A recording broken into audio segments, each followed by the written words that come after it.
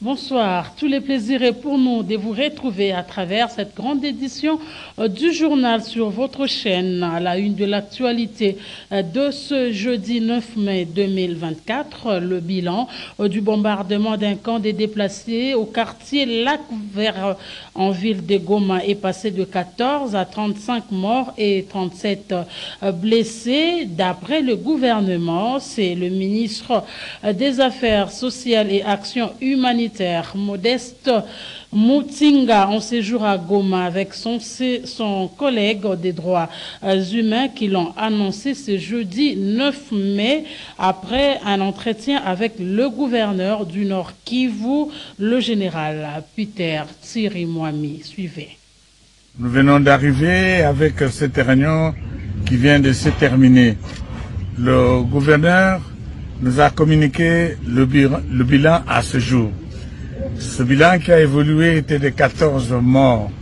Il est aujourd'hui fixé à 35 morts et 37 blessés. Nous avons décidé d'organiser les obsèques le samedi prochain. Une délégation de Kinshasa nous rejoindra également le, samedi. Toutes les dispositions sont prises pour que ces obsèques soient dignes des fils du pays qui ont perdu leur sang euh, pour l'intégrité de notre territoire, pour sauver la patrie. Nous allons ensemble, avec euh, mon collègue des droits humains, organiser la visite sur euh, le terrain. Nous passerons visiter les blessés.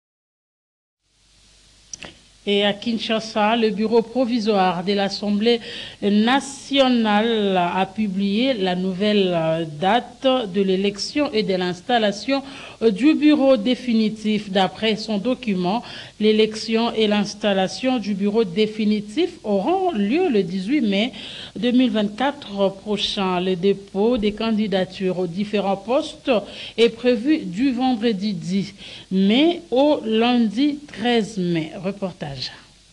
Le nouveau calendrier de l'élection et installation de membres du bureau définitif de l'Assemblée nationale prévoit du vendredi 10 au lundi 13 mai l'ouverture de la période de dépôt des dossiers des candidatures.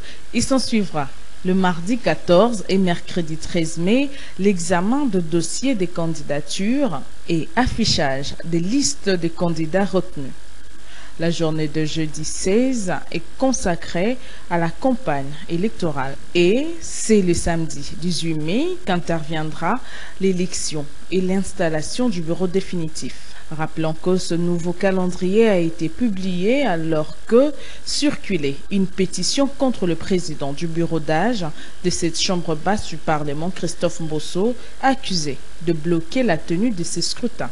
Nous, honorables députés nationaux, réunis au sein de la dynamique surveillance, dénonçons et condamnons le blocage des activités à l'Assemblée nationale entretenu par le bureau provisoire en cette période où cette chambre parlementaire exécuterait de plein pouvoir ses missions constitutionnelles. Il est inadmissible que l'Assemblée nationale ne dispose de son bureau définitif plus de trois mois après le début de la session extraordinaire inaugurale organisée conformément à l'article 114 de la Constitution. Ces dysfonctionnements étant entretenus à dessein par les bureaux provisoires jusqu'à cette date du 8 mai 2024, la dynamique surveillance exige sans délai l'élection et l'installation du bureau définitif eu égard à la violation intentionnelle de notre règlement intérieur. La dynamique surveillance se réserve au nom et pour l'intérêt du peuple le droit d'entreprendre des actions légales et démocratiques contre le bureau provisoire en déant 72 heures.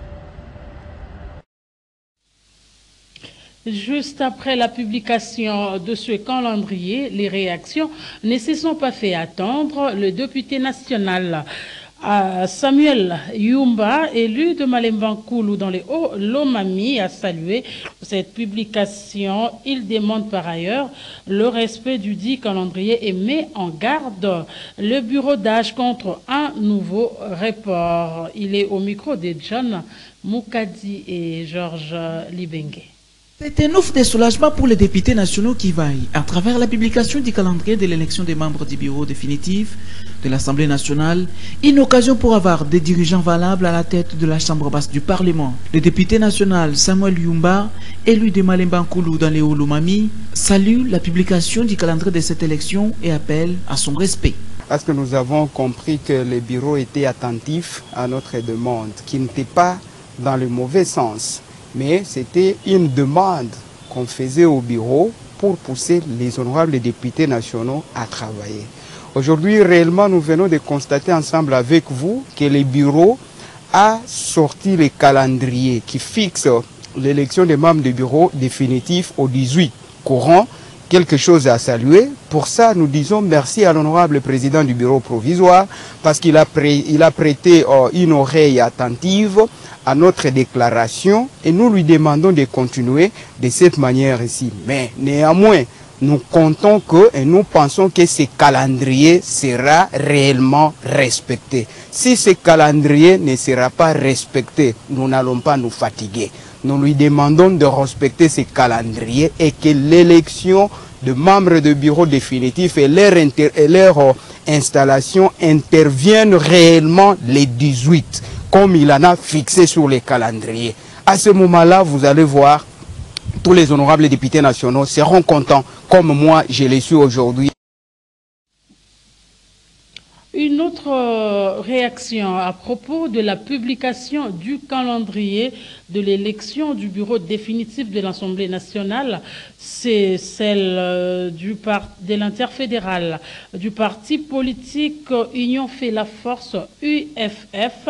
Jules Gilembe appelle à l'apaisement des députés nationaux et pense que ce n'est pas à cause de l'ultimatum donné que le bureau a publié ce calendrier, mais cela était déjà prévu. On l'écoute au micro de Maxime Macab. Mbosso devrait finir par publier le calendrier électoral, n'est-ce pas? Et je me dis que les députés qui ont menacé, n'est-ce pas, ils ont forcé une porte qui était déjà ouverte. Donc Mbosso, en publiant le, le, le calendrier, n'a pas fait allusion à cet ultimatum-là. Alors, comment est-ce que nous sommes d'accord que euh, ça a un peu traîné, n'est-ce pas? Nous sommes d'accord. Mais il y a des raisons, n'est-ce pas, qui, ont occasionné ces, ces petits retards. Quelles sont ces raisons? Premièrement, pour organiser une élection, on doit avoir des électeurs, n'est-ce pas, et des, des élus. Mais parmi les électeurs et ces élus-là, la plupart étaient à l'intérieur du pays pour aller battre campagne, certains euh, à ce qui concerne les élections au niveau sénatorial. Comment est-ce qu'on pouvait organiser, euh, n'est-ce pas, les élections de bureau définitif ici à Kinshasa sans les députés, sans des personnes qui allaient concourir à, à ces postes-là? Mais voilà que les élections se sont déroulées. La CENI a publié, n'est-ce pas, les sénateurs élus ça fait que les députés se retrouvent aujourd'hui tous à Kinshasa et ça a donné maintenant le quitus à Bosso pour publier euh, ces calendriers que nous avons tous. Euh, nous avons. Euh, je ne pense pas, je ne pense pas, parce que tout le monde se plaignait du fait que le calendrier a un peu de retard.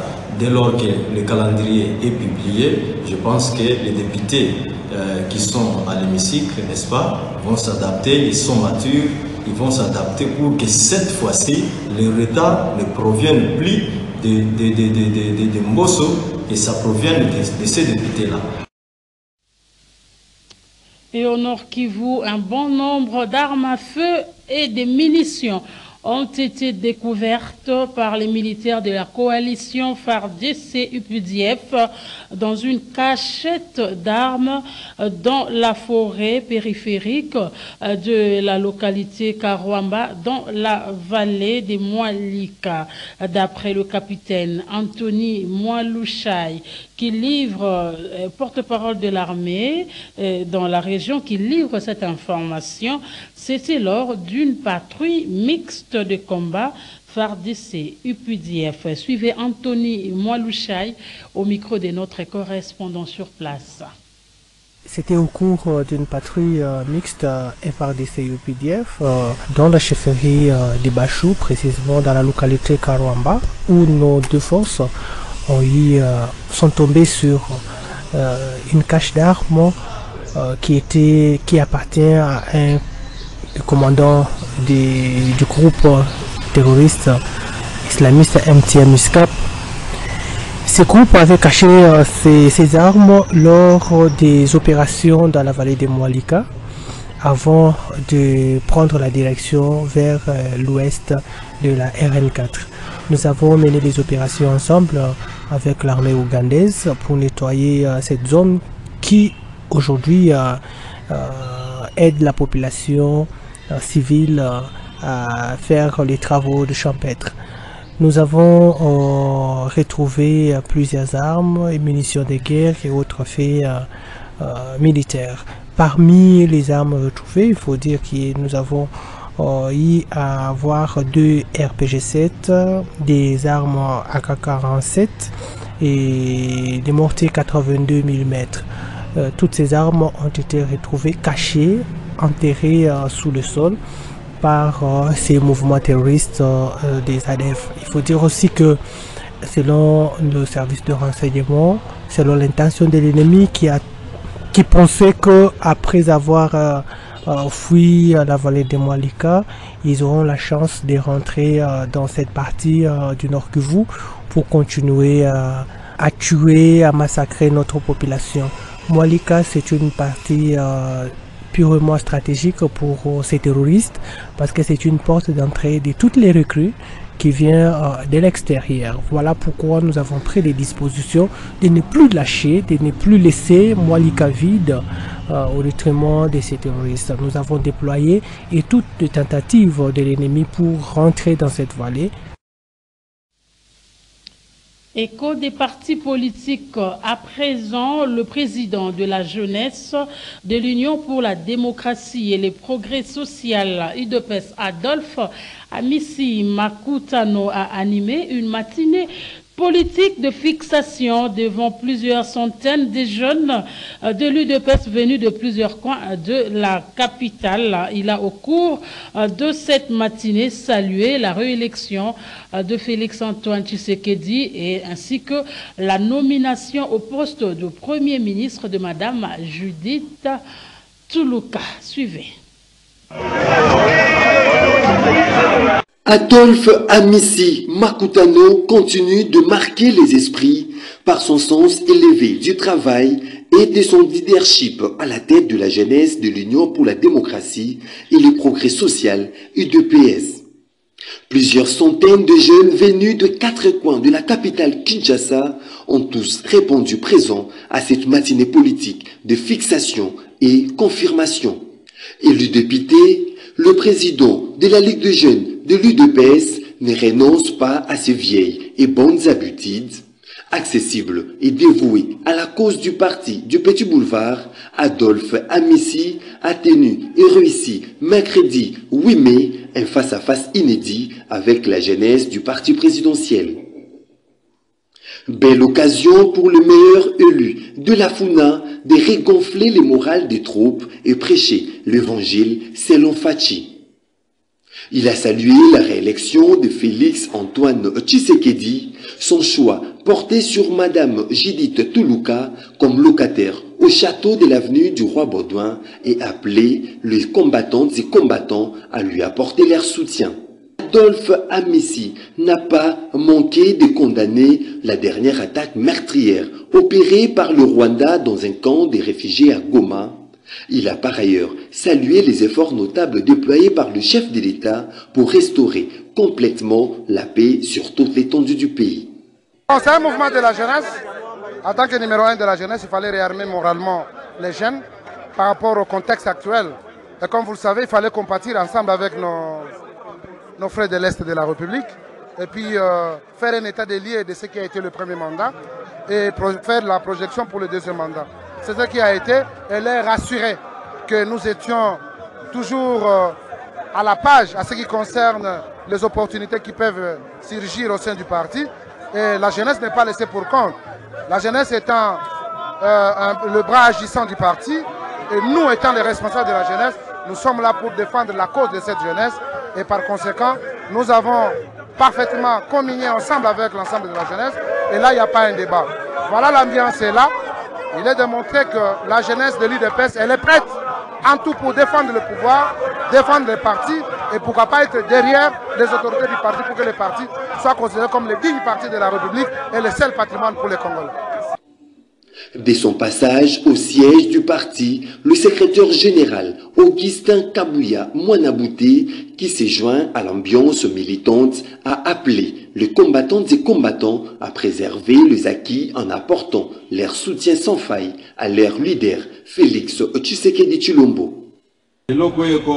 force ya jeunesse ekozala discipline na kati na bino jeunesse ezala au service ya baindividu te jeunesse ezala manipule te puisque souvent bamanipulaka jeunesse avec des fausses informations.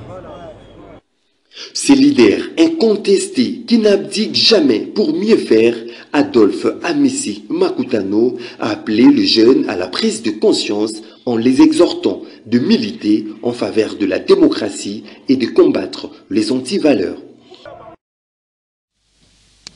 Probable changement de la constitution de la République démocratique euh, du Congo, comme annoncé par le chef de l'État congolais, l'acteur politique et auxiliaire de la loi, Maître Achila Kapanga pense qu'il y a des préalables à suivre pour aboutir aux modifications de certains articles dans la constitution euh, du pays. Je voulais suivre Maître Achille Kapanga qui revient sur certains articles qui peuvent être modifiés. Suivez. Effectivement, on a tout suivi. Le chef de l'État l'a annoncé à partir de l'étranger comme quoi il y aurait probable euh, modification de la Constitution. Nous, en tant que citoyens congolais, en tant qu'analystes politiques, nous pensons qu'il y a des questions à se poser. Ce qui est vrai est que les articles 218 à 220 consacrent un chapitre par rapport à la modification de la Constitution. Il y a des questions à se poser. On va ajouter quoi qui manque dans la Constitution ou bien on va enlever quoi qui énerve la Constitution. Puisqu'il faut savoir qu'il y a des dispositions qui existent et jusque-là n'ont jamais été mises en application. Entre autres, celles liées à la répartition équitable des richesses du pays, celles liées à la, retenue de la de 40% pour les provinces et bien d'autres. Voilà pourquoi nous pensons qu'il faut d'abord se poser la question, on va ajouter quoi qui manque ou bien on va enlever quoi qui fait défaut. Mais il y a une disposition très dangereuse que moi j'ai qualifiée de venin. C'est l'article 217 de la Constitution. Cette disposition-là demande à la RDC de céder une partie de ce territoire pour besoin d'intérêt des communautés ou des pays africaines. C'est ça le danger. Comme nous avons des pays voisins qui nous avient, il y a lieu que ces pays profitent de ce tas de choses, qu'ils nous fassent la guerre et qu'ils s'approprient une partie de notre portion de, de, la République et dire que non, cela est basé à la constitution de notre pays. Donc moi, ce que je peux demander, c'est élaguer l'article 217 de la constitution. Là, je suis d'accord. Mais par rapport à d'autres questions, puisqu'il y a des, des articles qui sont verrouillés, entre autres le mandat de chef de l'État, le, le, régime euh, applicable, le régime politique qu'on doit appliquer dans, dans, dans le pays. Et dans le reste de l'actualité, notez que les députés provinciaux de la ville de Kinshasa ont pris part ce jeudi 9 mai 2024 euh, au dialogue social organisé par le ministère de l'Emploi, travail et prévoyance sociale avec les parties prenantes euh, dans le cadre de la mise en œuvre du régime d'assurance maladie obligatoire. Le cercle Elaïs de Kinshasa a servi de cadre à cette rencontre. Suivez. Cette envie de changer, élever les options sur les modalités de mise en œuvre de l'assurance maladie obligatoire que les élus provinciaux de la ville de Kinshasa ont pris part à ce dialogue organisé par les ministères de l'Emploi, Travail et Prévoyance sociale. Occasion pour le secrétaire général à la prévoyance sociale et président de la commission 3, organisation de la demande des soins de santé, de rappeler que l'accès aux soins de santé pour tous est l'une des quatre garanties élémentaires des socles nationaux de protection sociale et des mers au cœur de l'agenda mondial de développement à l'horizon 2030. Cela exige que le gouvernement mette en œuvre des stratégies devant conduire les pays vers la couverture santé universelle, a dit Lokombe Balamouchou Emmanuel.